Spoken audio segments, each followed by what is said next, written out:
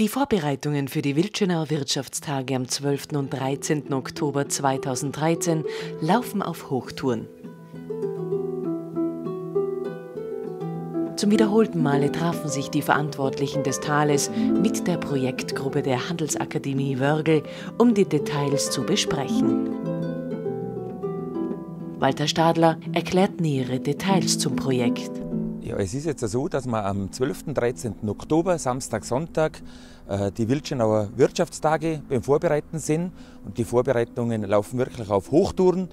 Äh, es haben sich jetzt über 30 Betriebe angemeldet, die wo einfach äh, über das ganze Tal verteilt sind und deswegen auch der Untertitel Das ganze Tal ist Messegelände.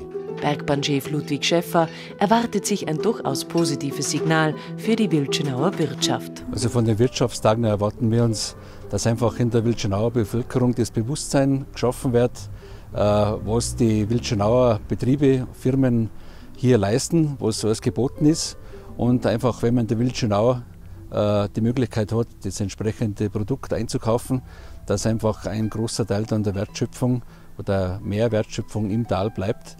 Und mit diesen Einnahmen die Gemeinde und auch die Firmen natürlich Investitionen wieder tätigen können. Matteo Schmidt von der Projektgruppe der Wörgler Handelsakademie zu den Vorbereitungen. Ja, jetzt sind wir mal so weit, ähm, dass wir im Entwurf sind vor, vor Broschüre.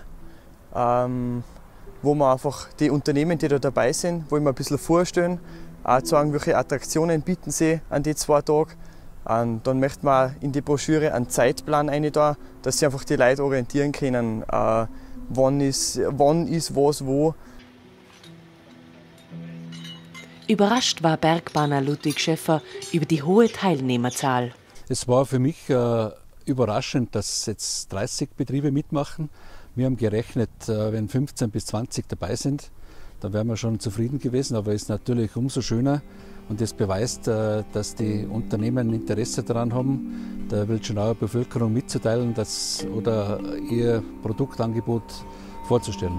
Und funktionieren soll das Unternehmen Wildschenau Wirtschaftstage dann so. Es ist so, dass eigentlich jeder Unternehmer bei sich zu Hause sich präsentiert, sogar die, die, Türe, die Türen öffnet und äh, wir organisieren das Ganze mit Shuttlebussen, mit den Bummelbahn wirst äh, einen Shuttle-Dienst machen von einem Unternehmen zum anderen und wirst einfach sagen wir, kreuz und quer durchs Tal fahren und jeder kann gratis mitfahren, kann aber auch selber mit dem Auto fahren äh, oder selber vorbeischauen. Es sollte einfach viel Bewegung im ganzen Tal herrschen.